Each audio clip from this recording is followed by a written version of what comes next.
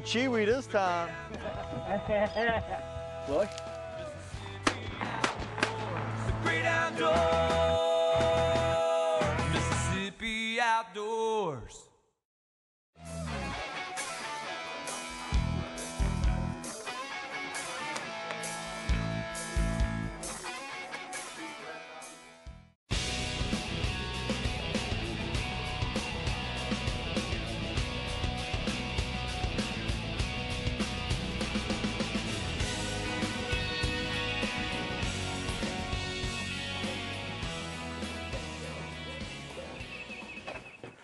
Hey folks, Mississippi Outdoors is at Circle M Plantation. We're here in Macon, Mississippi. We got here this afternoon. We came in, got our clothes on. Hey, time's a wasting. We going hunting and we're looking for big boy. So let's go.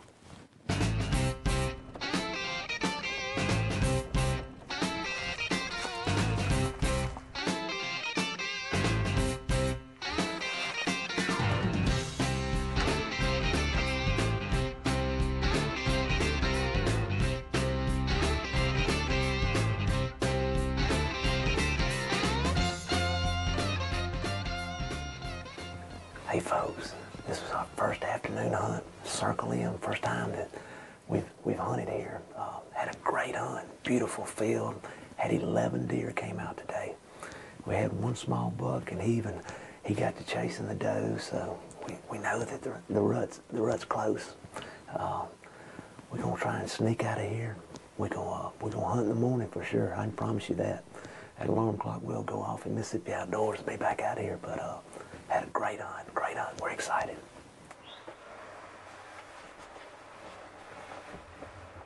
Folks, Mississippi Outdoors is here at Circle M Plantation, Circle M Hunting Plantation. I'm here with Bo Nolan and Bo. It is, golly, it's been a pleasure. We've been here for, for two days now. We hunted yesterday afternoon, this morning. We have eat, we have eaten like kings, and um, you got to tell the folks. Just tell us about Circle M and, and what all it offers. Well, uh, Circle M is here in Macon, Mississippi, and uh, we're at the kind of the top end of the Black Belt, and uh, it's a family owned, and it, we operated as a commercial fishing, hunt and fishing operation. Uh, we hunt turkeys and quail and deer, and uh, we've got a 55 acre lake that's got F1 bass in it. Tell us about the different hunts that uh, Circle M offers. Well, you know, again, it's uh, it's, it's deer, turkey, and quail. Uh, you know, our, our uh, uh, we, we're very focused on on managing uh, our property here, and you know, the things we do for the quail are also beneficial for the uh, for the deer and the turkey. So it's it's kind of neat to see how efforts that were initially focused on on one uh, game species helps in other areas. The deer hunting, um, you've actually got, it's got to be eight points or 16 inches. Yeah, what we try to do is is communicate some guidelines to our customers that move move them in their in their in their harvest, their selection, towards a four and a half year old deer, and uh, you know at eight points or better outside the ears, which is about 16 inches, or a 21 inch main beam. But we want we want eight points or better with either uh, outside the ears or 21 inch main beam. We'll take either one. Since I was a little boy, I mean, people have talked and told me about Circle M.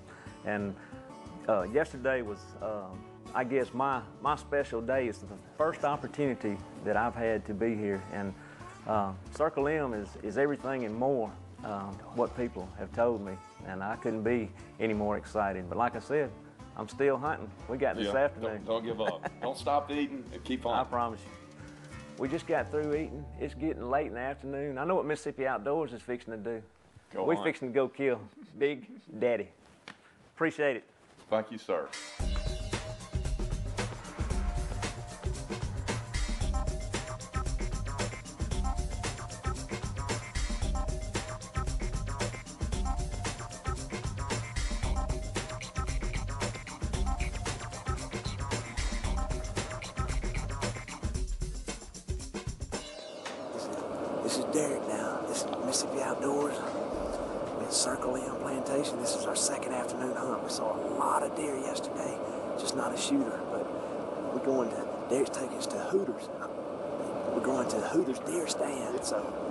Big, big daddy? Big day. Big daddy. So, All right, it's on. so good luck.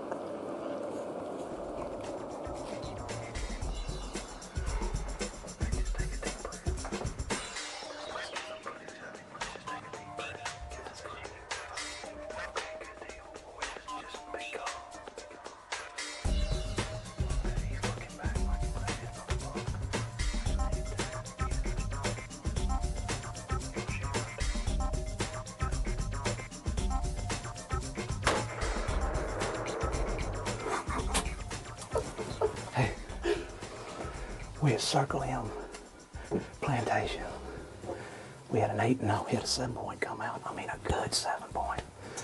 But I'm gonna tell you what, we just smoked a slinging and stinging. We just shot a big, big eight point.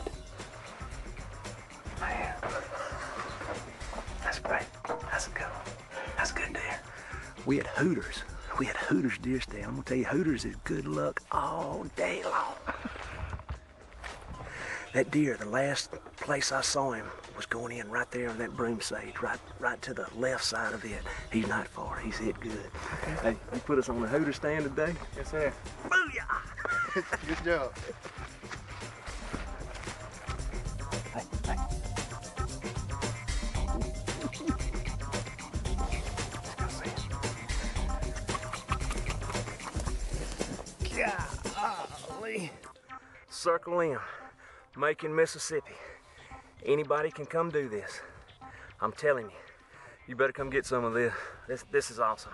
Hey, one, two, three, four, five, six, seven, eight, nine. He's got a kicker, 10 point. Hey, folks. Hey, it's been fun, been rewarding. We'll see you outdoors again somewhere in Mississippi.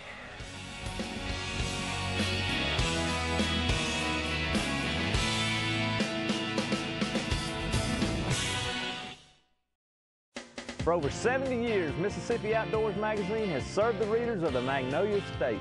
In it contains several interesting features such as wildlife photography, solunar tables, and even a kids page. Subscriptions to the magazine are very inexpensive, and when you subscribe, you will receive six bi-monthly issues containing articles on hunting and fishing in the state, public lakes, state parks, and even our wildlife management areas. For more information, call our toll-free number at 1-888-874-5785.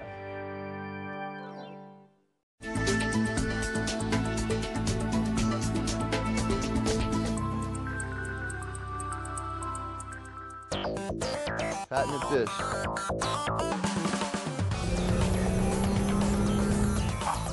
Nice trout, 44 inches. Just a little trout up at hand. We're back on the coast today. We're going trout fishing with Southern Extreme Charters with Mr. Brett Ladner.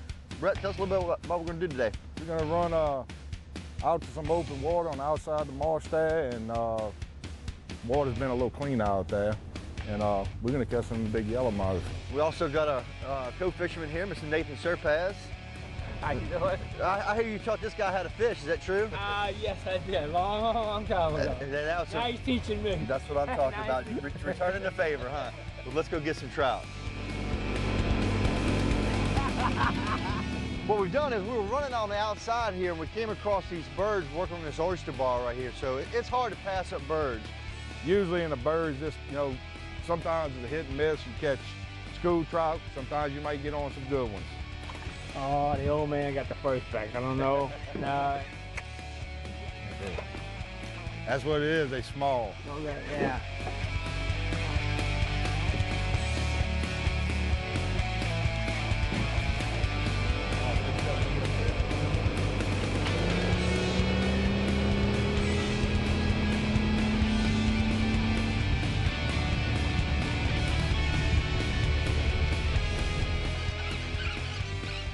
Of these old yellowmouth speckled trout. Patented fish. First fish of the day, and we pulled her out on a Cat 5, the uh, shrimp minnow. in pearl and green. Is it, Bubba? And ain't no chiwi this time. Oh, beautiful trout. Look at here. Look at it. Come on, get up. Oh, nah, the old man got I something. don't know. He might have me. Uh, I think he's got Oh, yeah, you. I got you. Come on here, you big old trout. But I'm gonna tell you what. I love catching with plastic before I bait.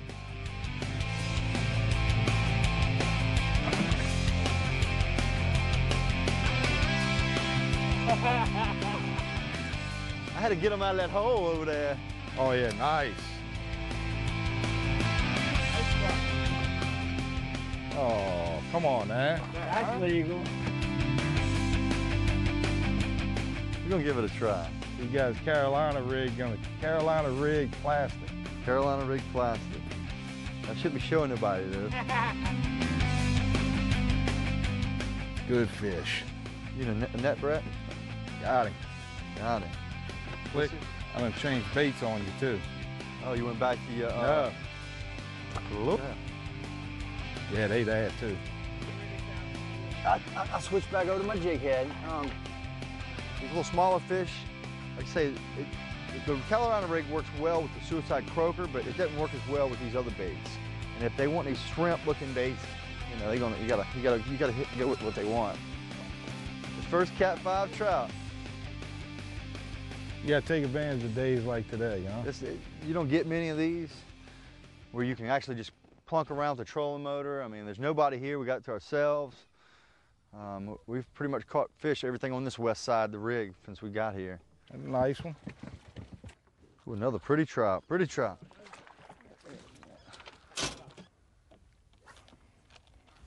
Uh, you Good bump mine, hit good- yours Good fish too. I'll take those all day. all day. Money in the bank. Oh, okay. Oh, I had one too, Todd. That's a nice one. Oh, yeah, that's a nice one. This time of year, we're waiting on our first, it's early spring, we're waiting on our first spawn to come in. Usually the first full moon in May was when we, um, you'll catch, start catching them in April if the weather conditions are right. Um, but usually the first full moon in May is when your first big trout's gonna come in for the spawn. Now they're gonna spawn all the way to September. Um, so when they come in for the spawn, you can, May is our big trout month. It's also our windiest month.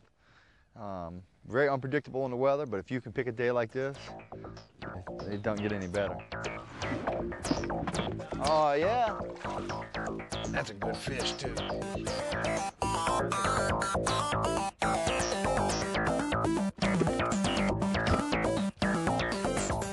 Oh yeah.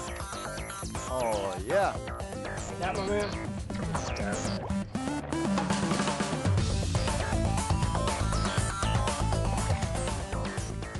That's what we after right there, babe. Ooh. Rolling a little cornmeal. I'm gonna switch over. We've been seeing we got seen a lot of bait on top water, and we're seeing some good trout pop pop the surface. So, I mean, they they they want top. We got I got to try 'em. I'm gonna go with a popping cork. Either we are in some fairly deep water. Just because you're in deep water doesn't mean they won't bite the top. These little males, they waiting on the females to come back. So Brett, kind of slowed down. What, what do you think we ought to do? tide went slack on us, and uh, we had a pretty good bite going. You know, it wasn't one behind another, but it was pretty steady. And uh, that tide slacked on us, so we're gonna move a little further out and see if we can find some tide movement, maybe find some fish.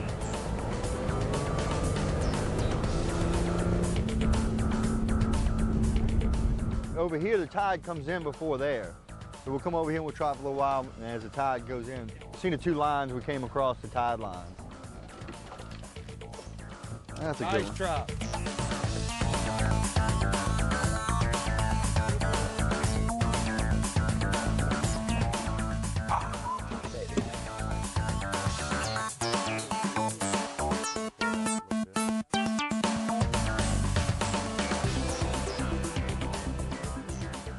another one. Beautiful.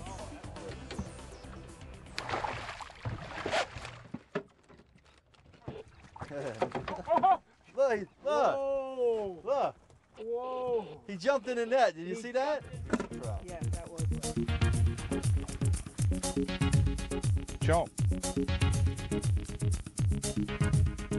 Look who woke up. I think you're back in the running for big fish of the day. No, I don't oh, think. Oh yeah.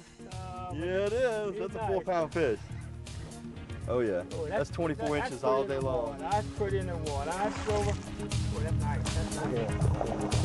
Oh, we got biggest for the day in here. Look at here. That's 44 inches. Man. I, I Go ahead, hold that. Keep that neck. Keep that neck. going. Two at a time. Two at a time. To the top. To the top.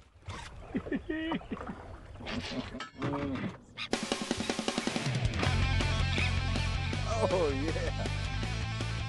Come on, Bobby. Look at the two with him right there. Oh, look at the size of that trout.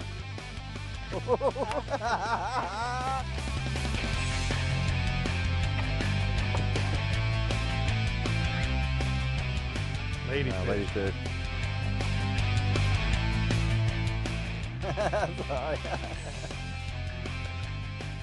Oh, we got a box full of trout, but we can always use a few more in it, right?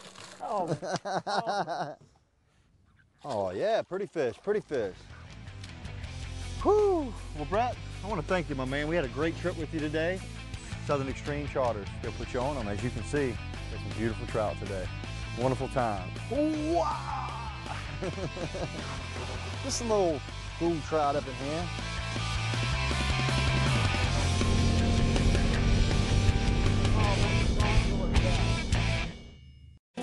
You know that money spent on a Mississippi hunting and fishing license is just like an investment? The Mississippi Department of Wildlife, Fisheries and Parks uses money from license sales to enhance hunting and fishing, like providing public hunting opportunities on wildlife management areas, advising private landowners on deer and habitat management, providing public fishing opportunities on state lakes, and operating fish hatcheries for stocking public lakes and streams. So make an investment in the great outdoors. Buy your Mississippi hunting and fishing license today.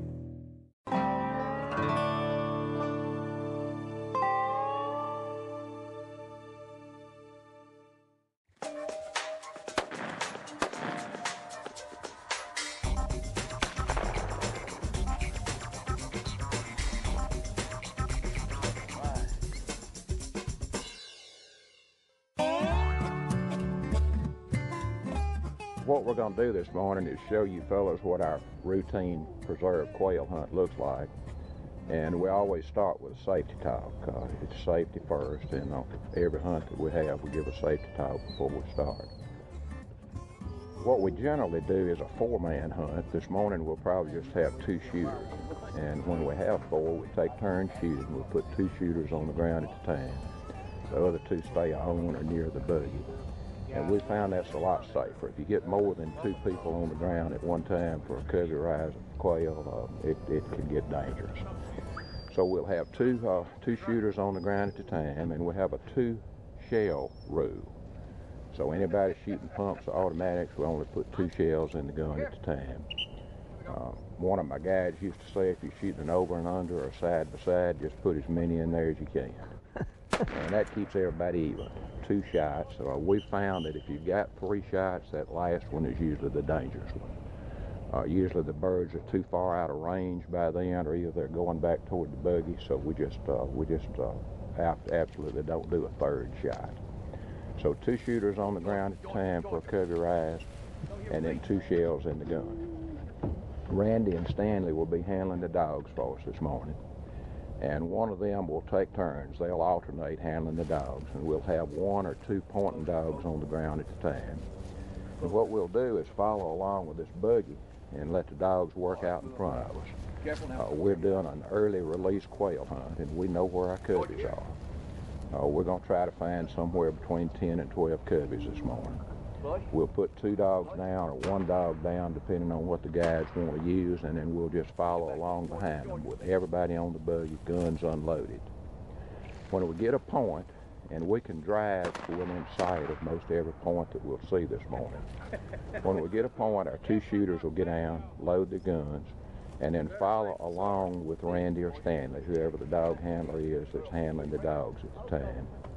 And he'll have a third dog with him. He'll have a flush dog, which is a little different than most preserves use. Uh, we found that the flush dog really makes uh, the birds fly good. And uh, he's trained to stay right with the guide, and then he's released on command to go in and flush the birds. The point dogs, of course, do the pointing, and then they'll do most of the retrieving. We've found if you'll stay as close as you can to that dog handler, one on either side, that you have a better opportunity for a shot. If things work like they're supposed to, when he releases that flush dog, the covey of birds should get up and go away from you. The shooter on the left takes everything from the middle to his left. The shooter on the right takes everything from the middle back to his side. Well, let's go find some birds. Y'all ready? Let's do it. Let's Do it.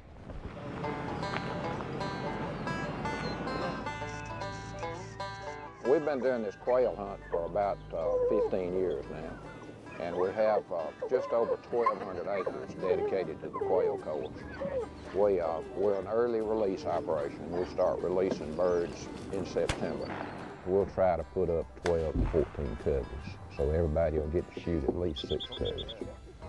And I'm sure you have some natural wild coveys on Oh, we do. We do. We've been doing this long enough now that uh, that, that everything that we do for the pen raised birds helps the wild. So uh, our wild bird population is just growing exponentially. And if we're lucky, we'll probably find a covey or two of wild birds today. The hunt usually takes about five hours. There you go, there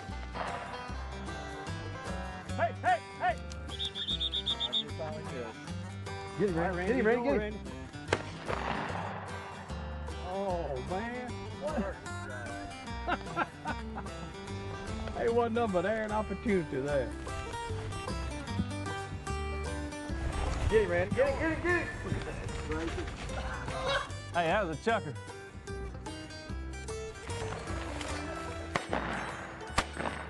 folks that are my age and, and even Randy's age remember hunting wild birds. And that kind of disappeared from this part of the world. And, and there are a lot of theories about why. You know, uh, there's not much farming anymore. There's not much gardening anymore. When I was a little boy, and probably even when you were, Randy, you could hunt from one garden spot to another. Everybody that had a pea patch had a, had a covey of quail. Well, in this part of the world, all the open land's been planted in pine trees. So the habitat's not there. And there's theories that maybe the fire ants did something to the quail. Uh, the predators, uh, hawks are our biggest predator, hawks and bobcats. When we started doing this quail hunt 15 years ago, it was pretty rare to see a bobcat. And now we see bobcats every day. They, they're here, and, and the hawks are here. But what we've tried to do is to recreate as much as we can uh, and simulate a wild bird hunt. And you'll find that these birds that are early released will fly a lot like wild birds, and they really uh, have become wild. They've been out long enough. The property is 4,200 acres, and I've dedicated about 1,200 to our bird courses. Uh, we hunt uh, on a hunt like we were on this morning. We covered about 600 acres. So we've got an identical second bird course that covers another 600 acres. And as you saw, it's mostly thinned, thinned pine timber, uh, some uh, pipeline and uh, utility right-of-ways, and then some open fields.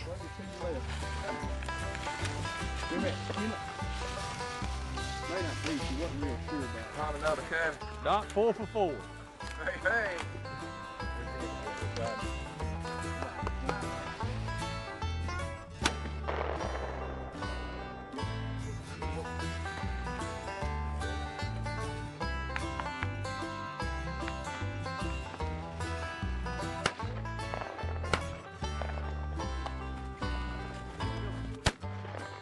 Our preserve season starts in October and we can hunt through April.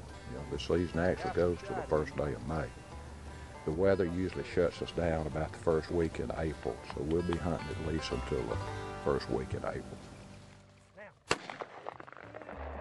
Ty, how about a bird? Thank you. Doc, that was some fine shooting. Well, I sure enjoyed And it. I, morning. I want to thank you for the hunt we had today. And I'm going to tell you, these birds are as wild as they can get. Well, that's good. And they getting up. That's what we try to do. We want to make them as much like a wild bird hunt as we can. We Yeah. sure had a good morning. Get on your game because they're going to go. What did we find? About 12 coveys this morning? About 12 coveys. So we had a we had a good morning. Beautiful hunt. Beautiful hunt. Sure. Once again, Mill, Pleasure entertaining you fellas. Millbrook Plantation, Stonewall, Mississippi. Stonewall, Mississippi. He's got them. All right, thanks. Great time.